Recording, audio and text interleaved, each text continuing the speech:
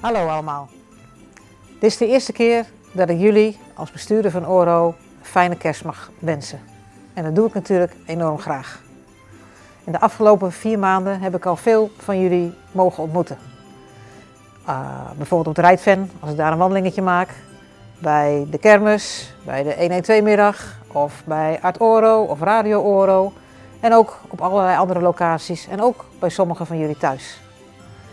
En als ik jullie dan ontmoet, dan zie ik dat we het samen best goed hebben bij Oro. We zorgen goed voor elkaar en we hebben ook veel plezier. Dat maakt mij in ieder geval heel blij en gelukkig. En jullie hoop ik ook.